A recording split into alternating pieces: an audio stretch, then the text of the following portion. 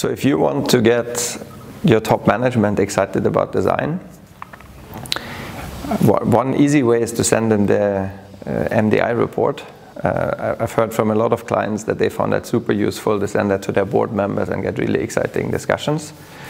Um, because it's done in a format, in a language that is uh, very, very crisp and, and still eye-opening. What we also see often is that involving them in design activities is very powerful. So we've seen with a lot of clients that when you set up a design lab and you then invite uh, top leaders to join some of the research, some of the ideation, some of the prototyping, it, it is very eye-opening. And I, I literally have seen board members cry and laugh interacting with customers and sort of taking their phone number down say wow you know we, we need to get closer to customers so that is if, if there is one thing you, you, want to do invite three customers and run a three hour design sprint with your board members it's going to change their life Eh, mine råd til andre ledere som ønsker å gå i gang med designdrevet innovasjon, eh, er nok det å se på egen Altså ha et kritisk blikk på egen virksomhet og organisasjon og kultur. Om man er en trygg eh, Man har en trygg organisasjon som og, og hvor man da Og hvor man i forlengelse av det faktisk har tenkt igjennom hva det betyr å sette brukeren i sentrum, og hvordan det potensielt kan utfordre måten man gjør ting på i dag. Eh, og da tror jeg det vil også være viktig at man som leder er ærlig på om man eller i hvert fall tenke gjennom om hvorvidt man klarer å stå i kompleksitet. Ikke helt sånn entydige svar, prosesser som kanskje tidvis går mer sidelengs enn fremad. At man Eh, ja, at man takler det å miste litt kontroll. Da.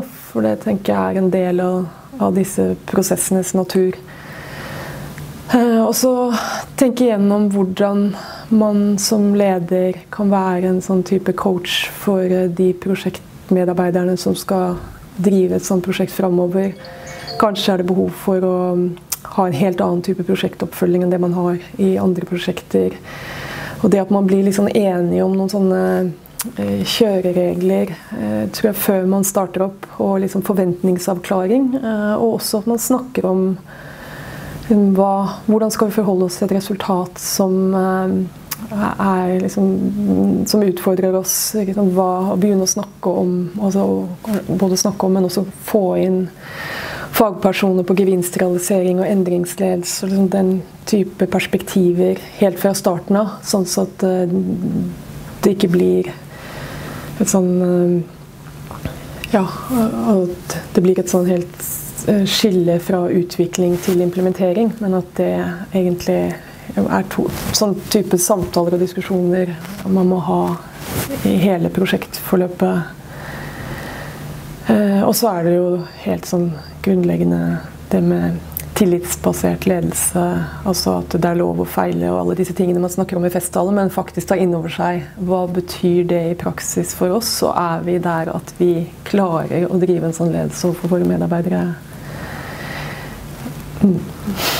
Nei, vi, Vårt råd til andre ledere som ønsker å starte med designlivet i innovasjon, det er å lage deg et prosjekt som, er, som passer snevert. En veldig konkret eh, måloppnåelse. og Sette ihop et gode team og velge da fornuftige folk å jobbe sammen med et designbyrå.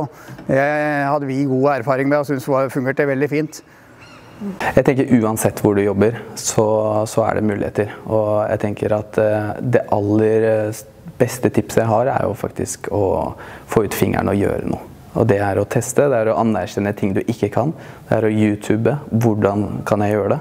Og det er å prøve å feile. Og, og gå litt blindt frem og, og stole på instinkter og magefølelsen.